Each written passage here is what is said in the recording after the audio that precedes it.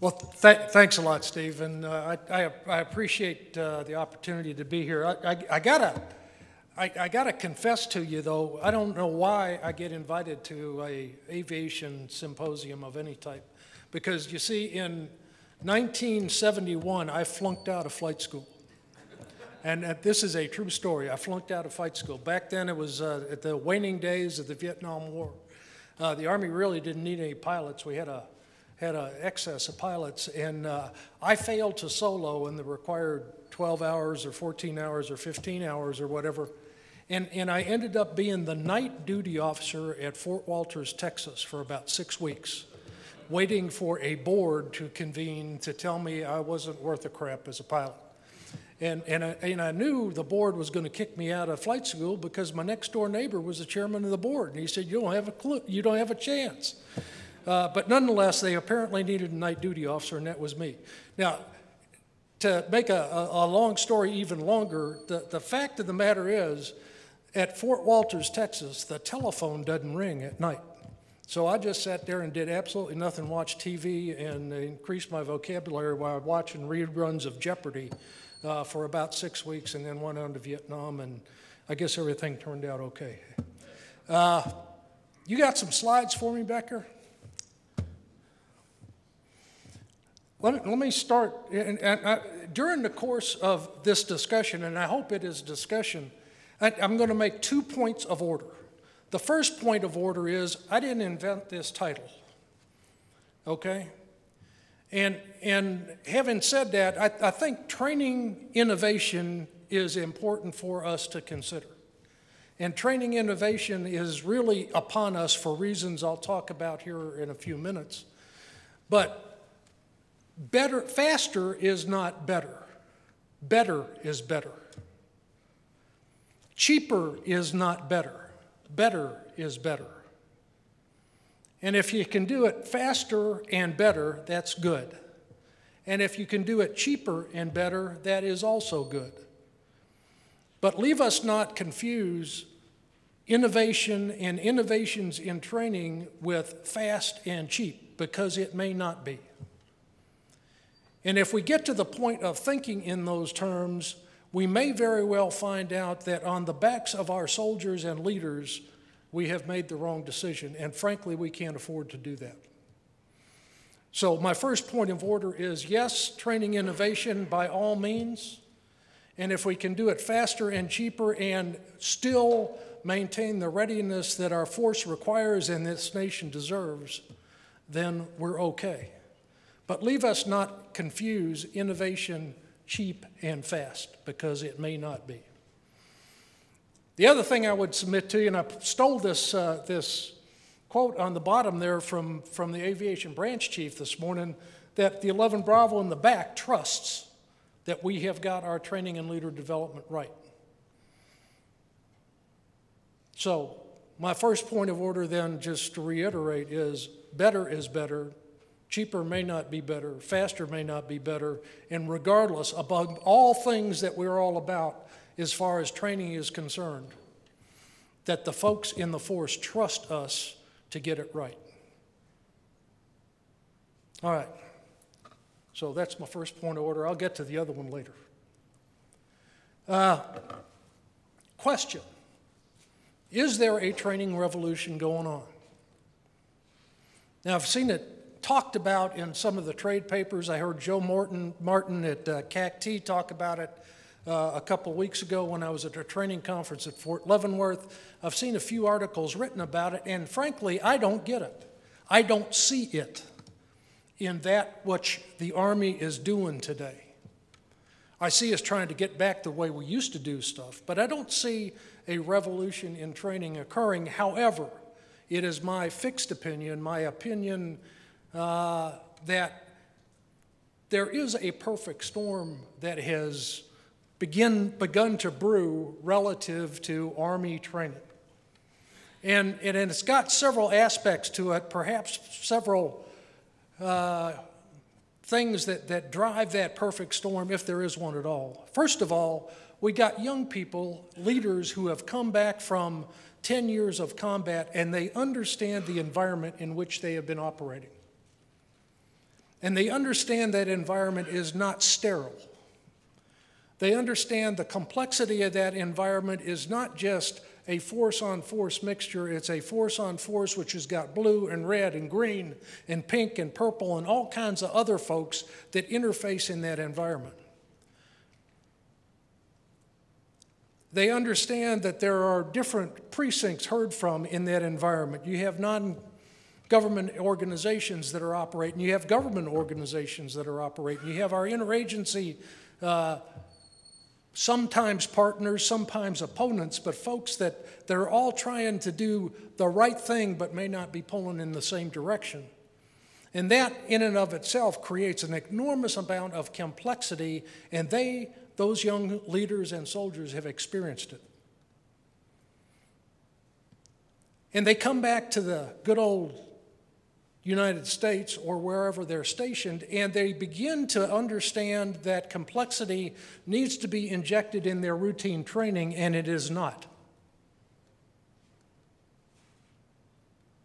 So that's the, the second thing that I would, I would submit to you that our soldiers and leaders because of the environment they've been in for over 10 years, are expecting and demanding some of that complexity to take place in their training because they understand that the, the, the, the pool that they swim in has got a lot of other fish in it besides just those that wear the uniform. And it seems to me if there is a revolution going on and if there is to be any innovation in United States Army training, then the complexity of that training needs to be addressed in some way, shape, or form. Now, I'm not suggesting that we ought to go out and buy you know, or rent a thousand role players to go out and do a platoon exercise on the other side of the cattle guard at Fort Hood. But I am suggesting that there's some degree of complexity that's got to be appreciated by the individual soldier and leaders and organizations in order to operate and win in a complex world, which is in fact what our Army operation concept talks about. The third thing that I think has, has occurred that may have something to do with, with this revolution in training, if indeed there is one, is that commanders come back to their post camp and station and they understand the environment, they understand there's a requirement for complexity, and they want to be in charge of making sure their unit is trained. In fact, they have an obligation to make sure their unit is trained. Yet, how have we trained formations, leaders over the past six, eight, ten years? We've delivered training to them. I mean, you could go to the National Training Center five years ago and we were doing a mission rehearsal exercise, and folks just showed up.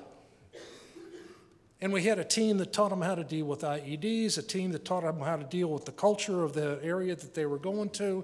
You had a team of, uh, of experts that taught them all of these things, all of which was necessary in a mission rehearsal context, but it was the delivery of training.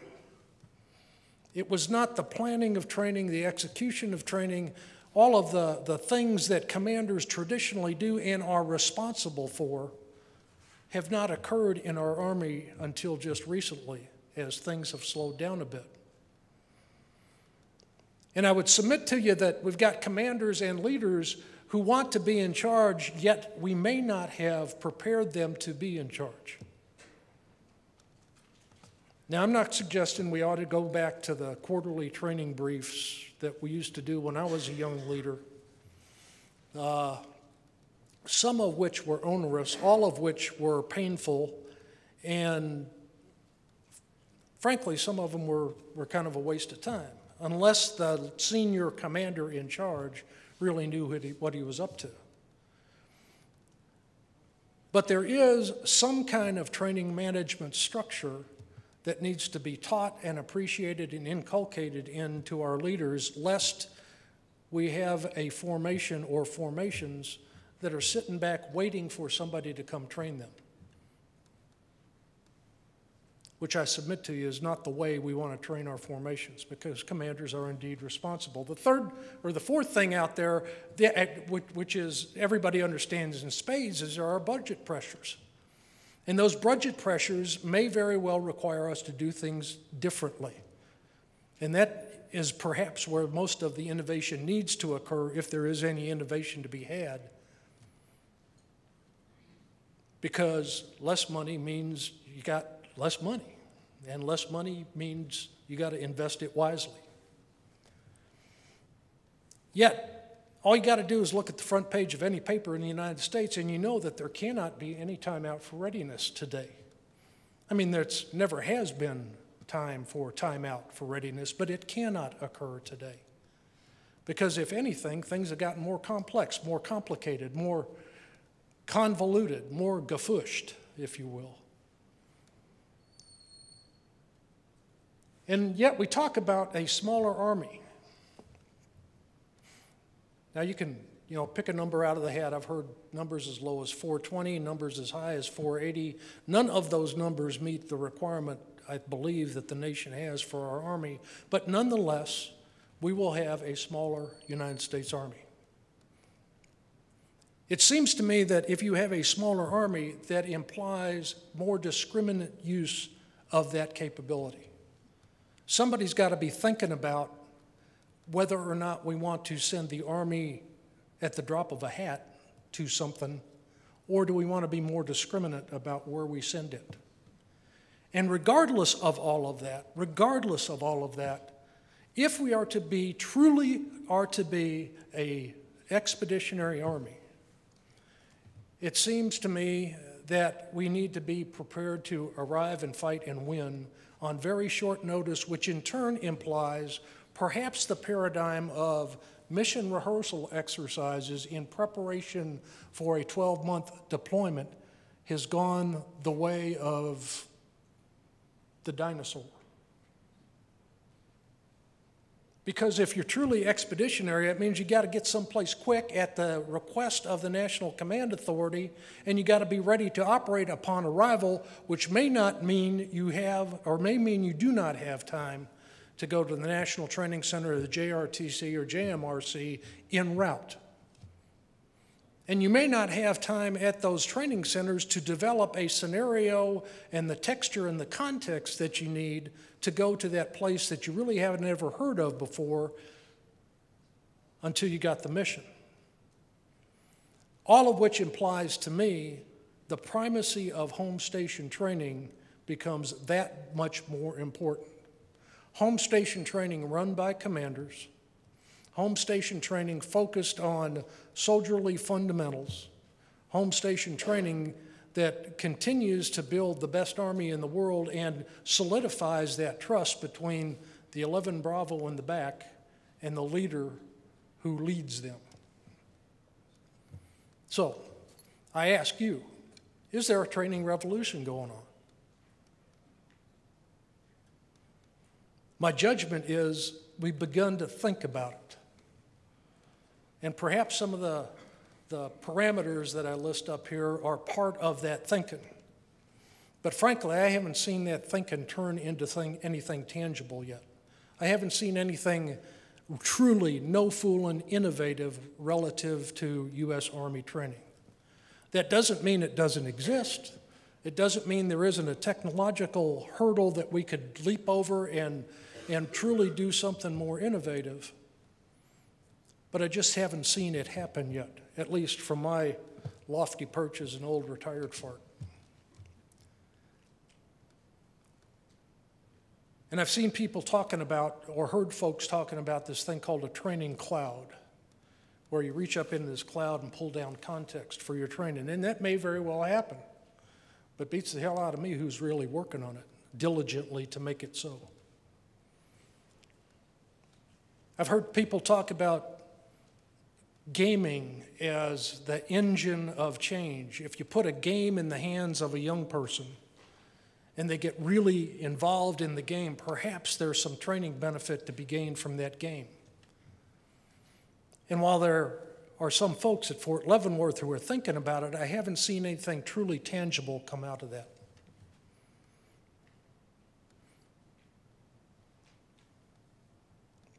I've heard a lot of folks talk about simulations and how simulations can take the place of some of our live training.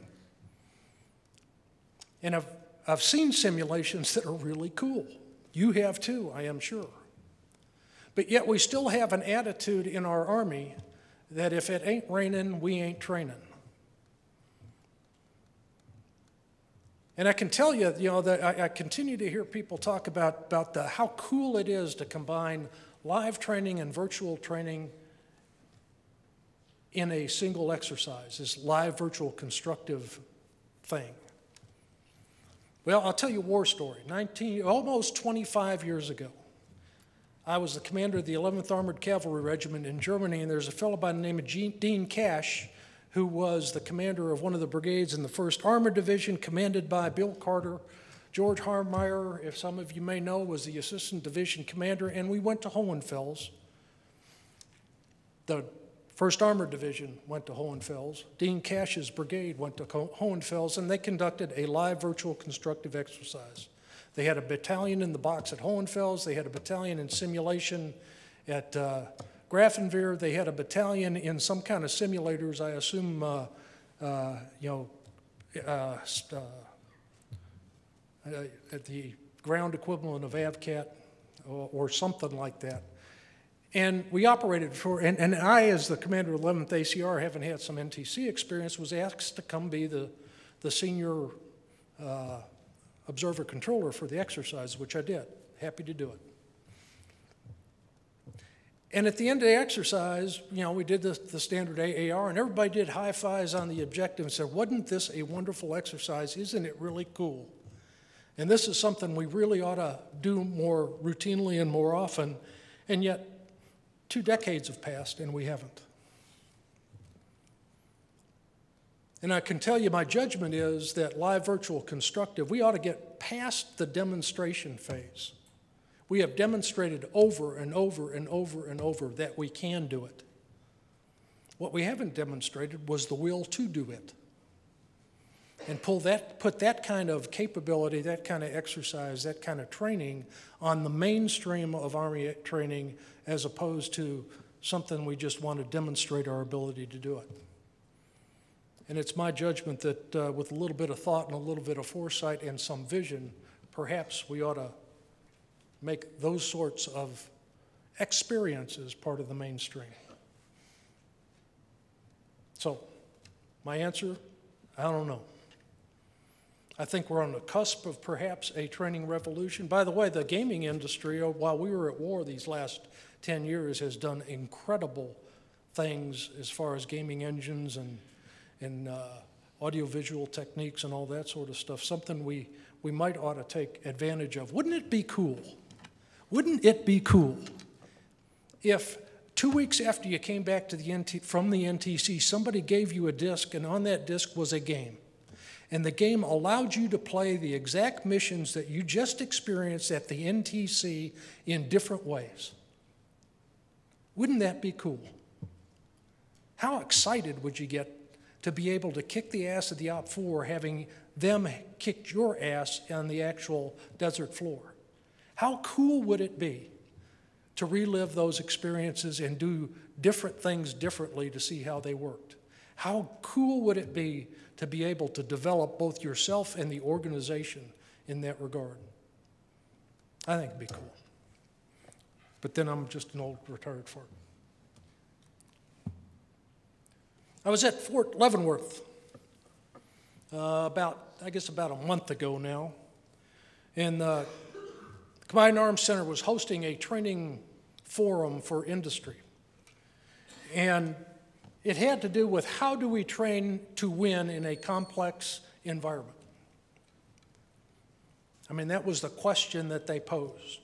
And I stole these comments from now Brigadier General promotable Joe Martin, who just took command of the combat to the net, uh, to, just took command of the NTC uh, last week.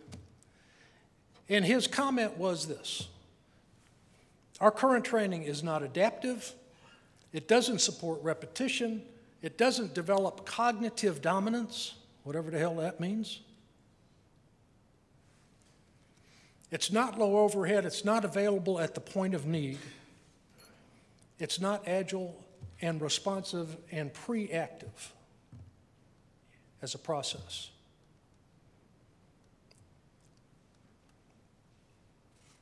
He said, within the context of the new Army operational concept, when in a complex environment, our training needs to be more, uh, needs to improve in those areas that I show up here.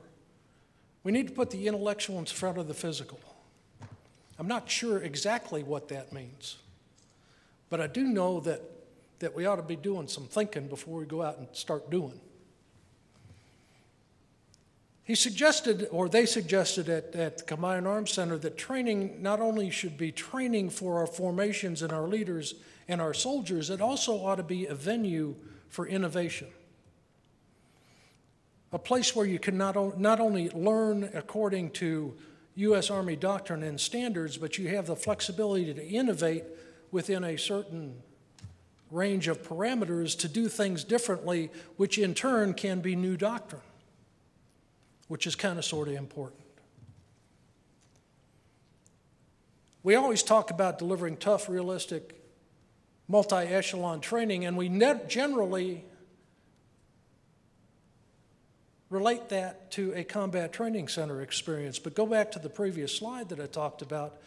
An expeditionary army may not have that luxury. I mean, to the, if the truth be known, we've never had that luxury. We've never had enough capacity at any of our combat training centers to train all of the formations that there are in the Army. And so while we continue to train maneuver brigades and think we're doing a wonderful job, there are support brigades, there are aviation brigades, there's battlefield sustainment brigades, there's artillery formations that don't get that opportunity. And maybe, just maybe, it is there where we ought to be reaching for and looking at and developing that innovation that we're looking for in training in those formations that don't routinely deploy to a combat training center. And give them both the authority and the responsibility to develop some good ideas on how to train their formations that we can cascade into the rest of the Army progressive and iterative, iterative training. You know, I, have had this notion for a long time. I, I guess call me under. Uh, uh, it, it's those. I, I'm, I'm an armor officer, okay, and I grew up with a thing called the UCOFT, Conduct of Fire Trainer. Many of you are familiar with it. And the UCOFT had, had this really unique way of training decisions inside an individual tank. If you think about it, the decision of what tar- target to shoot in what order is really a decision making exercise. And the UCOFT had a very intricate three dimensional matrix that was set up. On one axis was close and far, one axis was night and day, one axis was uh, moving and stationary. And Obviously, a close target is easier to hit than a far target. A moving target is harder to hit than a stationary target. It's easier to engage daylight than night unless you have good night optics, etc. And what the, the matrix did is took the crew through that matrix, and if you did really well on one exercise, it gave you, an, gave you another exercise that was more difficult. And the computer decided that. So, over the course of multiple iterations inside the conduct of fire trainer, a TC gunner combination continued to get better because they were presented with even greater challenges every time they stepped into the, the simulator. What's the analog to that for a company commander? What's the analog to that for a aviation company? What's the analog to that for a maneuver battalion? And could you create such an analog? Where not only you go through a simulated exercise, but the simulation itself and the software and all the electrons and all that stuff understand how you did last time so that the next time you are presented with a similar problem, it is a more difficult to solve problem because you solved the last one reasonably well. And wouldn't it be cool if organizations were allowed to progress based on being given more difficult problems to solve because they solved the less difficult ones already? Soldiers and leaders that thrive in ambiguity is something that is embedded in our new operation concept and recognizing that warfare is indeed a human endeavor, which is all about what the Army is about, and maybe, just maybe, we might forget it once upon a time. So, anyway, that's what Joe had to say. And he encouraged industry to respond to those areas needing improvement in order to correct some of the things that he judged were not so spiffy with regard to our current training. Mike Lundy at the uh, Aviation Senior Leaders Conference a couple of months ago said the following about training. It quotes the AOC and then it talks about training, maximizing training opportunities. Now, I would, I would submit to you that maximizing training opportunities just gets you there. It doesn't necessarily allow for innovation that is better, faster, cheaper, but it does get you there. And there is a certain wisdom about taking advantage of, full advantage of training opportunities that are afforded you. I would suggest to you that although I grew up in the combat training centers, I've spent six years at the National Training Center, I commanded it, I commanded the operations group, it seems to me that the NTC is not a place where you go train. The NTC is a place where you go to verify the validity and the efficacy of your home station training program. And oh, by the way, you receive a damn good set of training lessons in the process. But it seems to me that our combat training centers, as they have evolved, CTCs and MCTP, that they aren't places where you go and say, Here I am, train me. They are places where competent organizations go to confirm that their home station training program was reasonably well put together, reasonably well resourced, and reasonably well accepted by the organization so they can get that much better through the experience of a combat training center.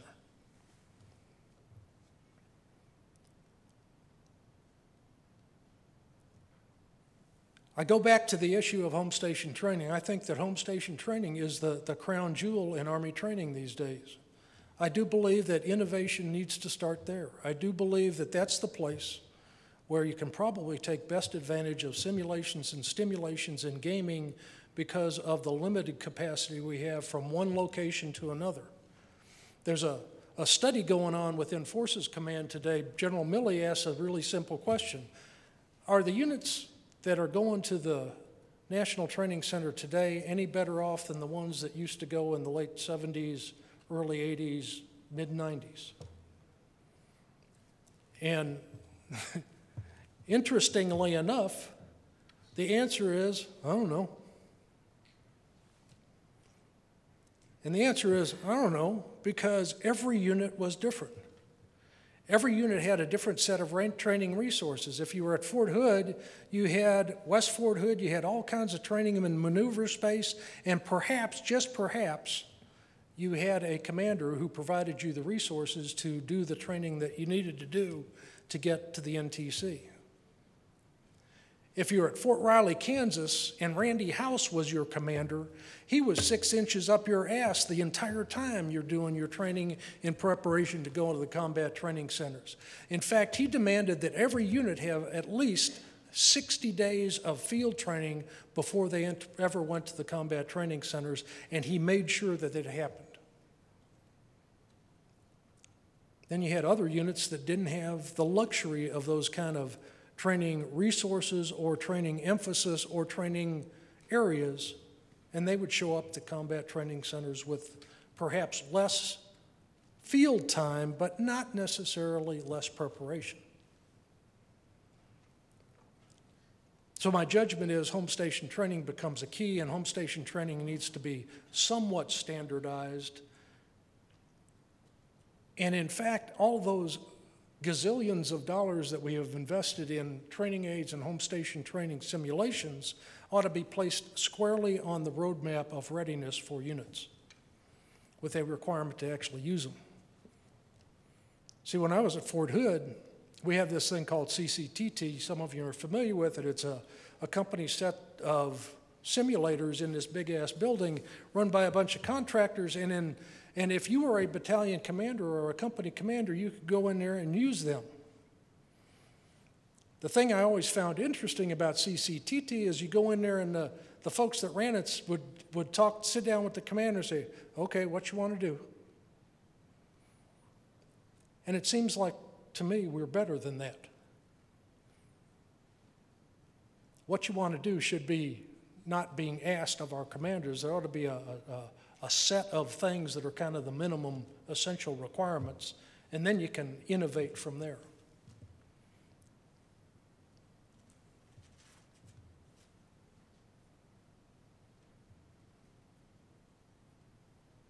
And yet we do have a lot invested in our training resources. I, you know, I, I, sometimes wonder if anybody has ever taken a toll of all of the, the training resources that are sitting in warehouses someplace in the Army that have never been used in the last year, two years, three years. I bet it'd be a staggering amount of money, time, effort that is put into maintaining all that stuff. But that's an aside. Anyway, that's what the aviation branch chief had to say about home station and CTC training in his recent leaders conference. And don't, don't get me wrong, I, I do think the, the notion of maximizing every resource that is devoted to training is absolutely essential. But I also believe that there may be some different ways of doing different things differently that get us to a higher level of readiness than we enjoy today. And I also believe that in an expeditionary army, that is an imperative. PEO STRI, folks down in Orlando, are also in the training business, in case you were uh, didn't know it. And they have a focus on some of the science and technology futures, uh, not unlike what Heidi Shyu talked about this morning at the opening of the conference. And these are their focus areas for science and technology relative to training, because they happen to be the folks that develop training devices for our Army. Synthetic environment, the ability to have a, a, a, a, virtual environment of some type that represents the complexity of the current uh, operational environment in ways that are meaningful to soldiers and leaders and organizations. A one world environment has to do with a database, the terrain that, on which we operate, that, that instead of having to go do uh, months and perhaps years of development of that terrain, it's already there for you. It's kind of like a, a Google Earth capability for training. Artificial intelligence artificial intelligence that allows avatars and other entities that might interface directly with a real live human in realistic ways, with, with realistic uh, and understandable facial expressions and, and dialogue that, that allow leaders and soldiers to get more out of uh, the cultural context, perhaps, than they otherwise might, and without having to invest in a gazillion role players to do so. There's a place out in California called the Institute for Creative Technology that's doing some really interesting work in that regard. And it's got some interesting spin offs to it. At Fort Benning, Georgia, not too long ago, uh, there was a thing, I forget the name of it, but it was a thing where individual soldiers who are developing leaders uh, in their BNOC class had an avatar with whom they could interface to do individual counseling, just like you would of an individual soldier. And the avatar had problems, just like an individual soldier might have. And he had facial expressions, just like an individual soldier. So you didn't have an individual soldier interfacing with that leader, but you had an avatar whose phenomenology was very, very similar to the individual soldier. Was it perfect? Hell no. Was it better than nothing? You betcha.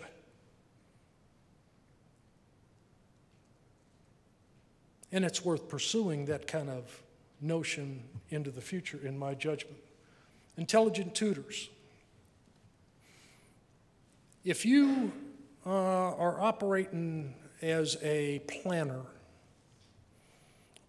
using CPOF, wouldn't it be nice to be able to call up what you did three weeks ago or four weeks ago and apply it in context of a different operation? Wouldn't it be nice to have somebody whispering in your ear saying, ah, you don't want to go left? That's not what your plan called for. That's where the bad guys are going to kick your ass. And there's a, an ability as we collect all of these mountains and mountains of data associated with not only how we train, but the, the, the way that we train and our predisposition for doing stuff for intelligent tutors to actually help us come to better decisions quicker. Big data and operations top process. I mean, there, there is uh, there's a wealth of opportunity out there in trying to figure out how to process and, and harness all of the data that is being collected. You know, it's not unlike that training cloud that I mentioned a few moments ago. Wouldn't it be nice if you're sitting at Camp Swampy someplace and you want to do an exercise, you can reach out and draw down from someplace, some repository, and you really don't really care where the repository is, but you draw down context around which you can build a training exercise. Wouldn't that be nice? Particularly if you're going to particularly if you're the commander of the 101st and you're planning to go to a combat training center and end up with a mission to go to Africa and deal with an Ebola crisis. Wouldn't it be nice to be able to contextually take yourself out of the CTC regimen and into the Ebola crisis regimen without having to do cheetah flips to do so? And my judgment is in the not too distant future, that ability will be ours. And then the simple notion of being able to deliver training at the point of need. Wherever and whenever our soldiers are deployed, being able to provide to them the training that they need. How many of you, how many of us have experienced Iraq and Afghanistan and somebody drove by and, and just kind of souvenired us a whole bunch of really cool stuff? And most of that cool stuff ends up in a Connex container someplace for AMC to try to figure out how to retrograde it. Wouldn't it be nice if, of that cool stuff, the stuff that was really cool and really useful, could training on those devices could be delivered to us in some way, shape, or form at the point of need? Not a, not a fielding type training, but a fielded type training. Wouldn't it be nice? And then there's the old issue of fundamental skills training. Now, I, I got to tell you, I'm an old dinosaur, and I think fundamental skills are kind of sort of fundamental. You know, and, and you know, I think you ought to be able to, or, or you, ought, you need to be able to train to being able to hit the target when you pull the trigger. That's kind of fundamental. Being able to move about the battlefield with authority is kind of fundamental. Being able to react to contact is kind of fundamental. Being able to to deal with, with obstacles that might occur in your way is kind of fundamental. Being, able, and, and being required and habitually react uh, or report accurately and quickly what's going on is kind of fundamental. And there's some individual things that are kind of fundamental, like physical training to prevent, to, uh, to provide you the stamina that you need to operate in these environments. Cultural awareness is, is becoming a fundamental. I believe. And then, of course, first aid, combat lifesaver, all that sort of stuff. All of those are, are, in my judgment, fundamental skills. There are those, however, who suggest that move, shoot, and communicate is much more complex today than it ever has been. And I stole this again from the folks at Fort Leavenworth. The basics then and now, the basics have become more complex. Do you believe that or not? I don't know if I do or not, but it's kind of compelling. You know, the basics used to be pull the trigger, effectively engage the target. In the 21st century environment, the basics have become more not only hitting the target, but deciding whether to shoot or not. And is that a basic fundamental skill that we have to train our soldiers? The, the split second decision making associated with making life and death decisions relative to the use of your individual or your crew served weapon.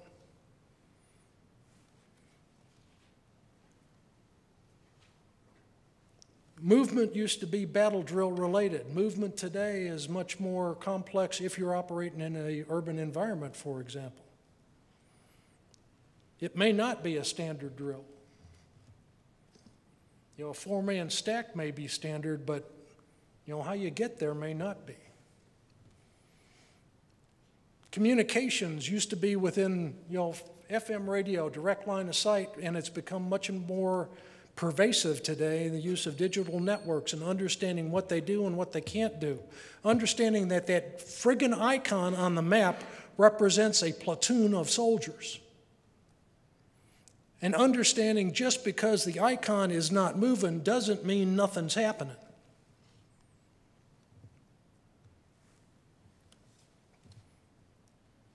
Basic physical training transitioning to total fitness. And importantly, the whole issue of discipline, which in my day and many of your days was doing the right thing when nobody's looking, today is doing the right thing when everybody's looking because we live in a world of, you know, crazy media, social media, etc.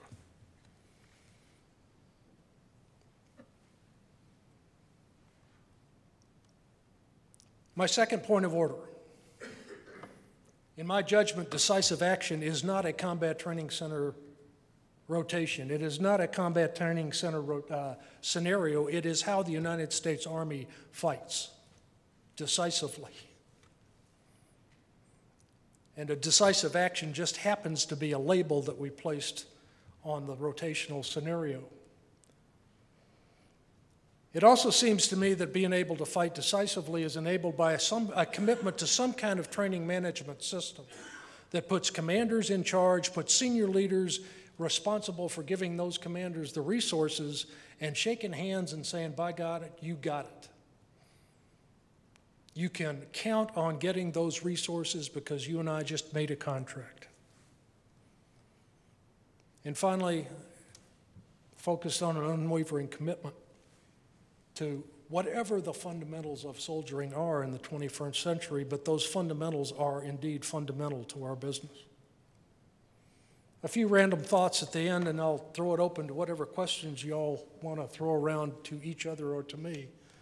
Uh, First of all, it is extraordinarily important in my judgment that you must be able to both operate and learn simultaneously. An after action review is not something that is just done at a combat training center. It is done whenever you have action and you review what happened and what didn't happen and you learn from the experience. And importantly, you share what you learned and the experience with other formations to make sure that they can grow based on your experience.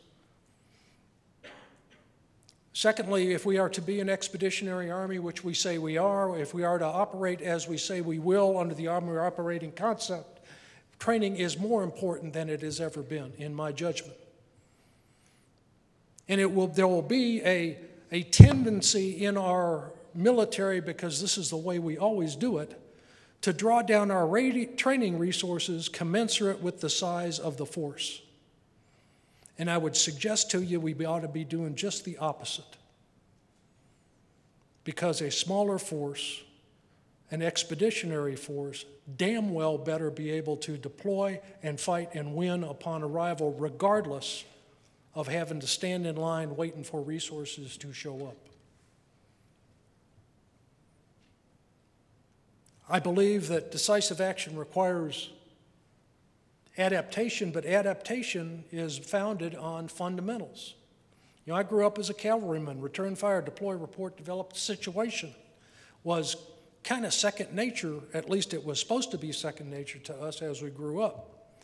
But you know, it took a long time for me to recognize that return fire, deploy, and report instinctively gave the leader time to think about what was happening.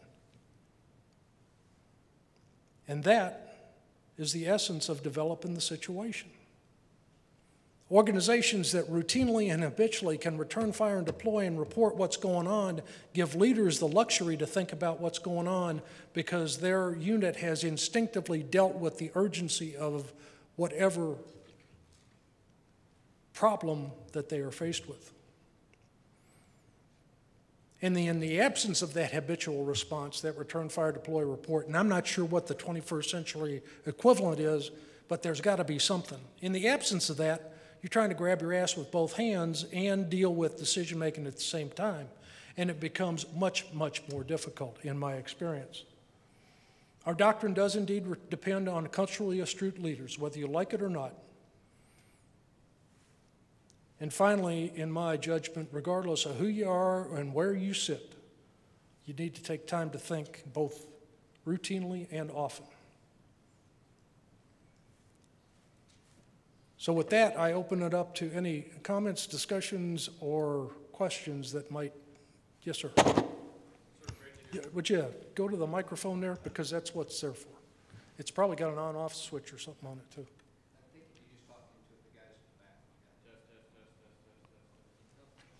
I'll speak up. Oh, Hey, there we go. cool. Sir, my name is Jason Blevins. I'm the senior aviation trainer at JRTC and, and can pretty much echo everything you just said there about units arriving at the CTC to get trained as opposed to having some sort of logical gated training strategy uh, so that they're validating the readiness when they show up. Um, specific to aviation, one of the issues that we see a lot of is leaders that are focused on tasks. So battalion commanders, S3s, XOs, trying to tell their units, this is how you're going to fly this mission. This is how you're going to set up your FARP. This is how you're going to do this. As opposed to analyzing adjacent unit missions and higher headquarters missions and then assessing how they can uh, describe the effects they want to achieve with their aviation task force and allow the companies to plan in detail how they're going to execute to achieve those effects. And then we close the loop, of course, through the back brief process. Just haven't seen a unit, but maybe one that's really good at that. Um, one other thing is at the end of the senior leader forum that you had those thoughts up from General Lundy on, there was a specific discussion uh, that we had one day with where we were talking about how to prepare an aviation task force to go to a combat training center. The, the discussion somewhat went to how does a CAB train their staff to uh, basically conduct combat operations because they only get the one every two year warfighter exercise thing. So one of the thoughts that we had that we're working now is is some sort of distributive type exercise echoing your virtual and constructive piece where the CAB headquarters chooses a CTC throughout the year in which they set up their command post, provide the mission command oversight. They have one aviation task force at the CTC executing live. You have another one back at home station executing virtual, possibly in the AVCATTs and pieces like that. And they're giving mission orders and, and working through that, that process. You know, a lot to be ironed out with the command relationships and things like that, but a way to really get the CAB who doesn't get to go to a CTC engaged in some of that training. So that's some of the things we're looking at. Uh, I personally owe the development of that and do a paper that comes out and, and uh, through the aviation center. But that's that's where we're looking at from the JRTC side. Well, th thanks a lot for your comments. I, I, know, I, I, think there's a pony in that stable someplace. But the, my, my angst about it is it's you know, we, we have demonstrated for decades our ability to do exactly what you're talking about. Why haven't we told people that's the way we're going to train? Why haven't we made it part of our, our training guidance, our training philosophy, our, our, our training something? Uh, it, it just seems to me that that's the next logical step. Thanks.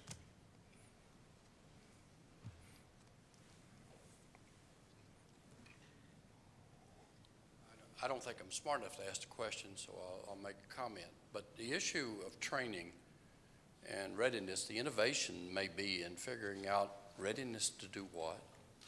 You know, the 30 or 40 years that we thundered around, we thought we understood what we were going to be asked to do, and it was still very hard.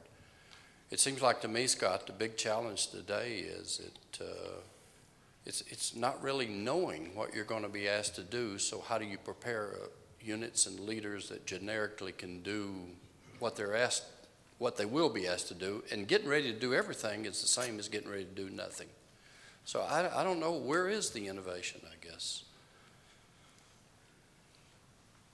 Well, I, I- I don't know the answer to that. I'm, I'm, I'm kind of a bit per- perplexed like you are. I, I do know that, that the Army operating concept was purposefully, uh, purposefully structured, if you will, uh, not unlike the old uh, airland battle concept. And I mean, and, and, and by that I mean, the, you know, the folks at TRADOC, the folks at CAC, looked at that document and said, you know, that was pretty cool. Fight outnumbered and win was a pretty definitive statement. And from that concept flowed the requirements for hardware and formations and training in order to accomplish that. And they took that document kind of as a foundation and said, how do we make that same kind of connection with the 21st century environment? And that is what they came up with when in a complex environment. Uh, and I'm, you know, I don't mean to speak for Dave Perkins, but, but there, he's got a, a really interesting briefing that talks about, you know, Airland Battle had the big five. This concept has big five also, but that five is a different five. It includes things like uh, human develop, optimizing human performance, uh, understanding the culture within which you're operating. It's much more, uh, much more human dimension focused than hardware focused, because there's this this uh, this attitude, I guess, that suggests that the place where we can gain the most benefit is through development of human capital. I mean, we all know it. We've all seen it. Our soldiers are so incredibly talented. All we got to do is figure out how to optimize their capability and, and let them go forth and do good things. Yes, sir. Good afternoon, sir. Uh, CB4 Rob Teague. I'm also with the uh, operations group. I asked that this uh, slide be brought back up because I had a couple thoughts about it. And again, it's just um, not really questions or necessarily opinions, but just some thoughts. Um, I think the biggest one uh, that I wanted to uh, talk about was uh, that there is no time for, timeout for readiness. Uh, and it's kind of interconnected with a smaller army implies a you know, more, more discriminate use. Uh, I think that uh, history has taught us, especially in the 90s, where we've kind of drawn down our army, yet the operational tempo didn't necessarily slow down in terms of places like Somalia and Bosnia. So I think that that's, that's the reality that we kind of need to look at. Uh, also, in terms of uh, uh, complexity in, in training and then the budgetary limitations that we have, maybe we should start looking to the other services. And I think that we're doing that to a small extent with, with maritime operations. But uh, one of the things that I think units are learning is that the Navy does things a certain way, and it's important that we learn that as part of the, the training that we're doing. Because if we can't land on a boat, then then what good is maritime training? Uh, so in terms of complexity, uh, and just working with other services can sometimes be complex. Uh, I think that over the last decade plus of wars in Afghanistan and Iraq, where we've worked with other, other services and other nations, uh, it's not always something that goes smoothly. So incorporating that into the training uh, could possibly help, and also with the budgetary issues, asking other services to help pay for training. I know that may not go over very well, but it's, it's an option. So, um, again, sir, just some thoughts. Thank you. Hey, thanks. Any other comments, questions, answers? Yes, ma'am.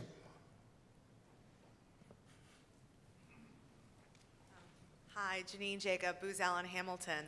Uh, This is a slightly unrelated question, but uh, in terms of this training revolution, how are we factoring in resilience training and training for psychological health? You're asking me? I'm, I'm the most psychologically imbalanced person in here. Or, or just something, I'm an innovation strategist, so Yeah. just No, I, I, something to, yeah, for us to as, be as I. I, I kind of suggested up there, I think that's, that, that is a, a, one of the emergent fundamentals, if you will, of, uh, individual basic skill requirements. Uh, Now, how are we doing that? I, I am not conversant in Army resilience training, although I know it's going on. Yes, sir there, there is nowadays, all the brigades have embedded, uh, psychological and mental health teams, professionally trained doctors and whatnot. That's, that's really where that starts.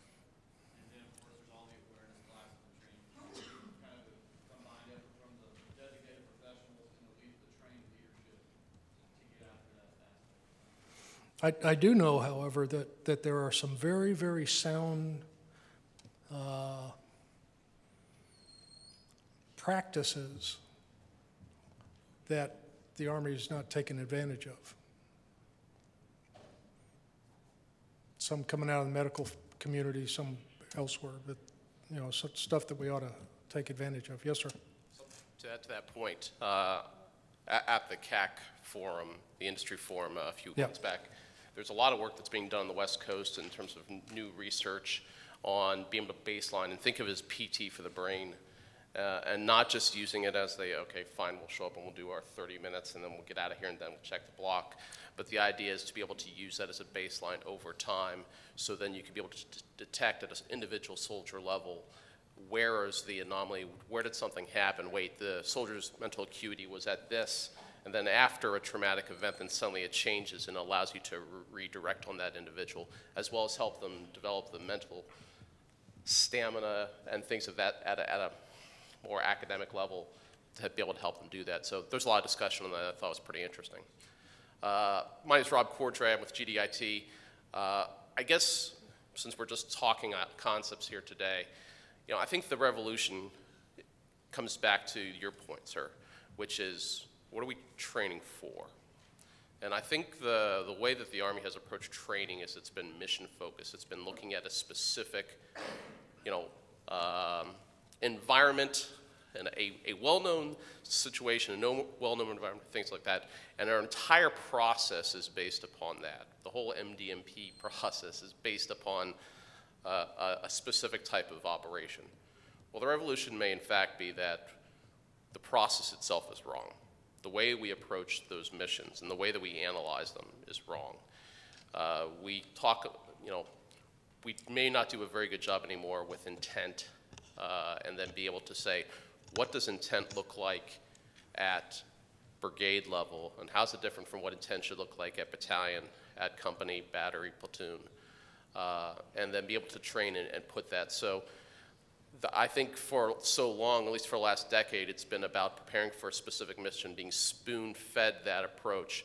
And our leaders have been responsible for leading people through that, that model, the resultant of the model, as opposed to training those leaders to how to be the ones that are actually serving, that they can, that they can think strategically about what are the potentials and whether or not you're approaching a, uh, a mission like an Ebola response or you're addressing uh, next phase in uh, Iraq, Syria, it's the, it's the process that's important uh, and how those leaders are approaching the process, the way they, they deconstruct the mission.